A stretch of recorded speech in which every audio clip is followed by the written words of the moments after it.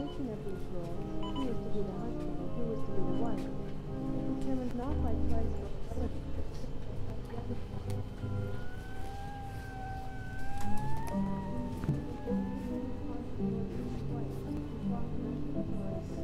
bound by law to reside in his house. He must live where he was, and must